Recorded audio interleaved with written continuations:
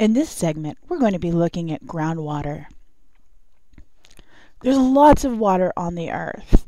If you look at the earth from space, it's like mostly water, except most of Earth's water is trapped in those oceans. And because they're salty, they don't provide a useful source of drinking water for humans and any animals that uh, survive off of it.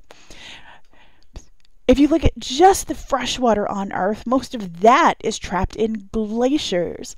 Only a very, very small percentage of water on Earth is easily accessible and usable. And you can see in this graph here that our biggest storage that's easily accessible is groundwater.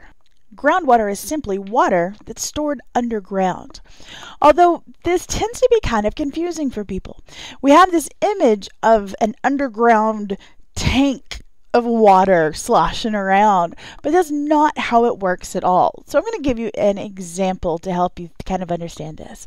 So I want you to imagine a Sonic cup. That's my favorite place to get sodas from, mainly because it's got that pebbly kind of ice. I love the ice in the Sonic cups. Um, so I want you to think about this Sonic cup, all right? And we're going to get rid of sort of extraneous information. So when you go into or you pull up to a Sonic and you order a drink, the first thing they're going to put in is the ice. Now, what I want you to we're going to do a little thought experiment. Let's say you order a drink and they're like, "Hey, we're running a special and we know it's really hot in Arizona and our ice melts pretty fast. So we're going to give you an option. You can either go with the traditional Sonic pellet shaped ice or you can get one big block of ice that's going to melt a whole lot slower and keep your drink even colder. So, out of these two choices, which one do you think you would prefer? All right, hopefully you're going to go with the uh, traditional ice because obviously, if you have just one big block of ice, it's going to take up all the room in your cup and you're not going to have room for Dr. Pepper. And that's really the important part here, right? All right, so we know that this pellet ice works the best for storing Dr. Pepper. And actually, this works pretty well for groundwater. So when you think of this ice, I want you to think of sand and gravel. Solid rock works more like that one big ice cube. So ice is sort of like sand and gravel that's stored underground.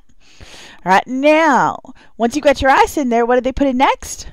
they put in your Dr. Pepper. Except the Dr. Pepper doesn't just sit on the top of all the ice, and the Dr. Pepper doesn't go to the very bottom of the cup and move all the ice out of the way. The Dr. Pepper is going to be into nooks and crevices in between those ice cubes. And that's how it works in groundwater too. So the Dr. Pepper is like the water that's stored between the grains of sand and gravel underground. So this this is where your groundwater is. Um now, the last thing is they put in a straw, or you put your own straw in, right, to be able to drink. And the level of Dr. Pepper in your straw is exactly the same as the level of the Dr. Pepper in your cup, right? And this, uh, your straw acts as a water well. So that's how you take Dr. Pepper out of the cup. And a well is how we take water out of the groundwater system. Now, this level of Dr. Pepper in your cup and the straw, since they're the exact same, in groundwater, this is called the water table. Now, does the height of the Dr. Pepper in your cup ever change? Well, of course it does, because as you drink water, as you take, or as you drink the Dr. Pepper, you take Dr. Pepper out of the cup, the water level drops. Now, if you uh, are lucky enough to be able to talk one of the car hops into refilling your drink, which doesn't really happen, but play along with me, um, if you refill it, the water level goes back up, and so does in the cup and in the straw. So this is going to happen in our natural groundwater system too. So if we look at a groundwater system, this sort of works pretty much exactly the same as the cup, right? So at the top, you have this zone of aeration. That's the ice at the top of your cup. Um, this is also known as the vadose zone or the unsaturated zone all works the same. So in this area, there's Dr. Pepper in your cup, but most of it's trickling down to the bottom, right? So this is an area where there's some water, but most of that water is on the move. At the bottom, here is what's called the zone of saturation or phreatic zone. This is where your groundwater is, and this is where you have to drill down to hit in order to extract groundwater. So this is where that Dr. Pepper was at the bottom of your cup. And the line between the two is the water table. So the water table is the upper limit of the zone of saturation. And it changes over time due to natural processes like rain falling or bodies of water that allow water to seep into the groundwater system, and that's going to raise it. Um, it can also be affected by human caused issues like wells, where you have extraction of water, or even dry wells where water is actually put back into the system, and that can that can cause the water table to change too. And what's happening in this water table is actually pretty important um, to determine the health of our groundwater system. So Recharge is what occurs when the water when water enters the groundwater system, and this happens through infiltration, and it makes the groundwater table rise. And discharge is what occurs when water leaves the groundwater system, and this happens through either wells or natural springs, and this can make the water table drop. Now, water is always on the move, and groundwater is no different. Groundwater always flows down the hydraulic head or the hydraulic gradient. Um, basically, at me, the hydraulic gradient is the slope of the water table. So this means what groundwater is going to flow from points where the water table is really high, like in point H1, to where the water table is lower, like H2. So it's always moving from H1 to H2 in this case, and even further down. Um, what you should notice, though, is the water table is almost always underground because it's groundwater. There are locations where the water table is above the surface. In this case, you can see there's rivers or this pond. So when you see surface water, at least in a lot of places, that's a really good indication of where the water table is, particularly for natural lakes. Now in Arizona, this is a little weird because our rivers are our main source uh, or our main surface water, and they're actually far above the water table. And actually, the water in the rivers are soaking down underground, so they're called losing streams. So we're actually losing water in our rivers, not just because of agricultural use. Um, but we're going to look at this pond. So lakes are a really good indication of where your water table is. So if we look at somewhere like Florida. All right, so here's a look at Florida. What I'm going to do is I'm going to zoom in to this central Florida here.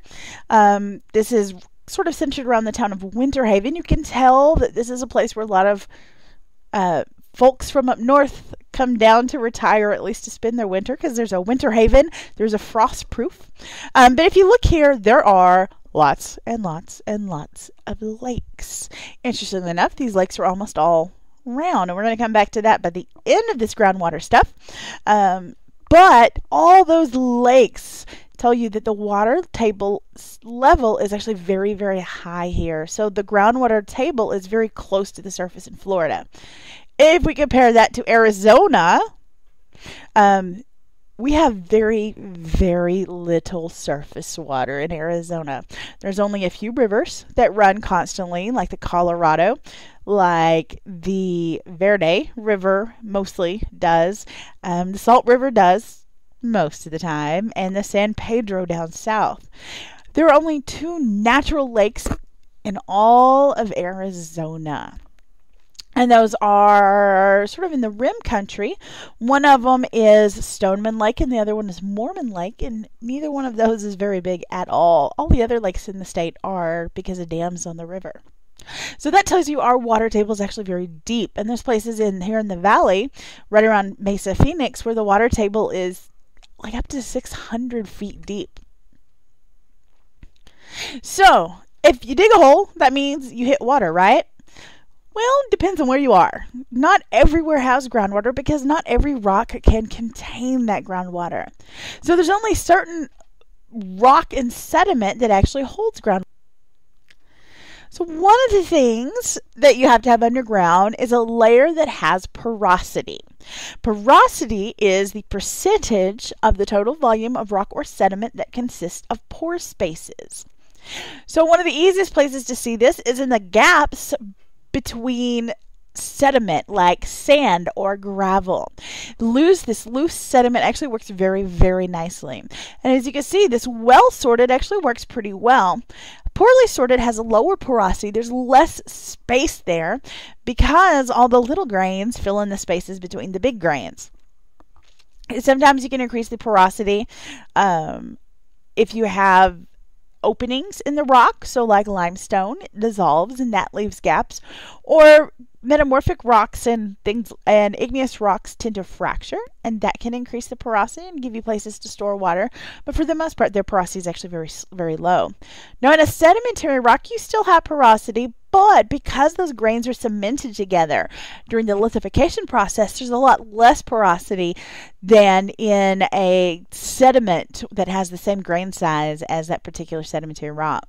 So if we look at some examples here um, something with very low porosity um, is like a shale or even a fractured granite. So that's only 10% open spaces. Versus if you look at just sediment, open sediment, really gravel has lots of holes, clay has lots of holes. But when you compact that together, and glue it together to make a shale, it actually takes your porosity down very very low. Now, just not just the porosity, but how easily the water flows from one spot to the next. so let's look at this. Here is a vesicular basalt. Lots of holes, good porosity. So let's imagine these are holes that are full of water. And these are holes we're going to use to uh, extract groundwater. So we put in a well. And you start pumping that well, and all that water, that hole goes away. Except now you got a big empty hole. So to get more groundwater, you build another well and you pump that one. And then you run out of that. And you put another well and you pump that.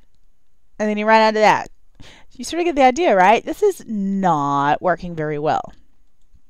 If, however, there was some way to break that rock, to make some sort of channels that go in between those holes, the water can actually flow between those channels so that when you start pumping the water out of, out of the one, the water is going to flow between the different holes. This is called permeability. Now, permeability is the ability to transmit fluids.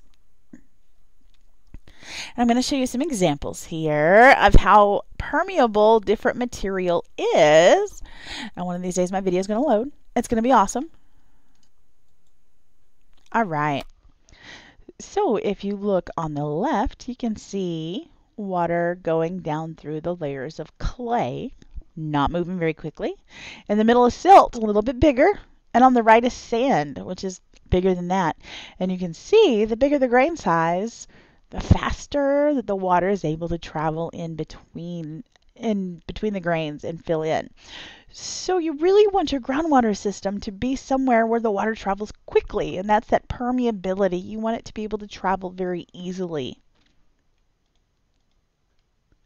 So a rock or layer of sediment or rock that has high porosity and high permeability that you can drill for groundwater extraction is called an aquifer. Now, obviously, that sediment is your best bet. Gravel, sand, those are what you're looking for. But layers of rock work really well too. So, rocks like sandstone, like limestone, like dolostone, or even fractured granite, these can all hold water and they can all move water, obviously to varying degrees. Um, and we see this even they make coasters out of some of these things. You may have had a sandstone coaster yourself. Um, I know this doesn't happen in Arizona very much, but I'm from from Texas, and it's really humid there. So if you pour yourself a glass of cold water, you get a lot of sweat on the sides of your cup, and so you put your cup on a coaster, and that coaster sucks in all that water, so it doesn't harm whatever surface you set your cup on, right? And so sandstone and even limestone, this is travertine coasters on the bottom, work really nicely. But not all rocks do this. There are layers of sediment or rock that have a very low permeability that we call an aquiclude or an aquitard. Now, both of these terms are not quite interchangeable, but they, they work. Now, I know it doesn't sound super uh, sensitive to to use the term aquatard, but if you think about where the term comes from, aqua means water, and the word retard in music means to slow down. So an aquatard is slowing down water, and an aquaclude stops water completely.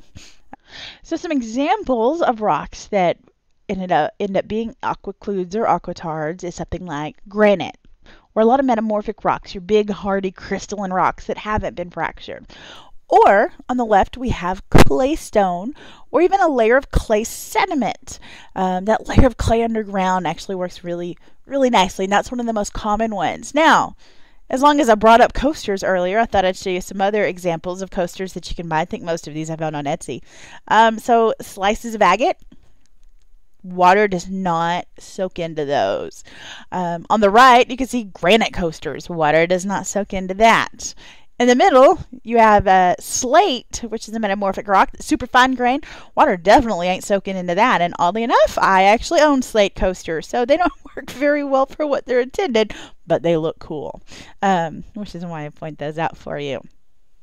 So this aquaclude, I mentioned that clay layer actually works um, very nicely. Here's another experiment where water is going through loam, and that's just a type of soil.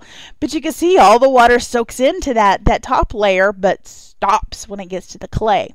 So this affects aquifers, what uh, which we're talking about now. But what we're going to see is that also has a big effect on landslides. So it's a super common uh, reason landslides happen are these layers of clay that are underground that stop water from moving and allow the water to pool there.